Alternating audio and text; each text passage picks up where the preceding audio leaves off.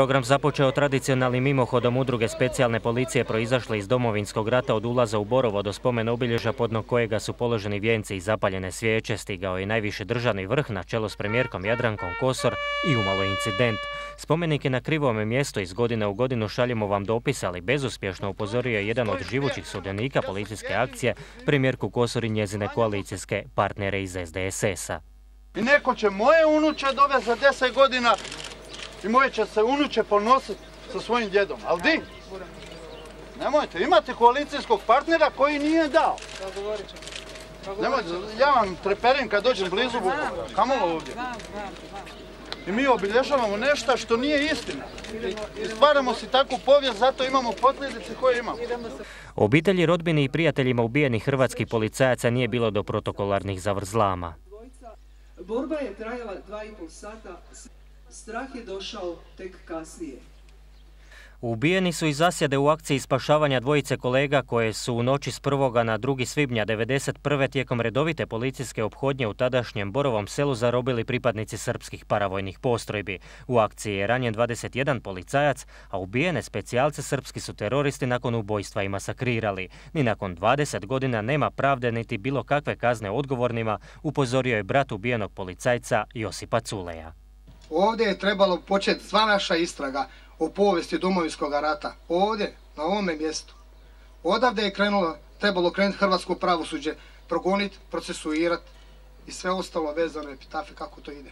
Hrvatski predsjednik Ivo Josipović poručuje putem izaslanika da krivci za zločin u Borovu moraju odgovarati, a premijerka Kosor najavila kako uskoro možemo očekivati da će pravda stići do odgovornih za taj zločin. Samo zajedništvo i samo zajedničkim snagama možemo učiniti sve ono što je svima vama na srcu, što je svima na, na, srcu, a to je prije svega da pravna država u svojoj svojoj punini profunkcionira. Ako do sljedeće obljetnice odgovora ne bude, institucije pravne države Hrvatske dobit će ponovno isto pitanje. Nama je utjeha da ratni zločin, zločin ne zastarijeva, pa ćemo u skladu s tim biti i nadalje jednako uporni.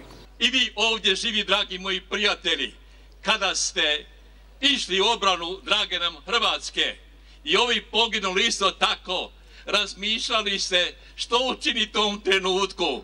Mama vas je molila, supruga, otac, djete, sinko, nemoj ići, nemoj ići. Ali vaša je ljubav bila veća od obiteljske ljubavi. Bili ste spremni dati svoje živote i to je nešto veliko što će ostati u povijesti našega naroda. Za zločin u Borovu deset je osoba 92. godine osuđeno na po 20 godina zatvorske kazne, ali je postupak kasnije obustavljen zbog primjene zakona o općem oprostu. Ministar unutarnjih poslova Tomislav Karamarko danas je izvijestio da je u studenom prošle godine kazneno prijavljeno pet osoba, ali i da će uskoro biti podignuta još jedna prijava i to po zapovjednoj odgovornosti. Kazneno je prijavu protiv 32 osobe podnio i brat ubijenog Ivana Culeja, a upravo je sutra glavna rasprava na sudu u Osijeku. Mišljenja je da je policija odradila svoj dio posla kako bi pronašla počinitelje, ali da je zakazalo pravosuđe. Recimo još kako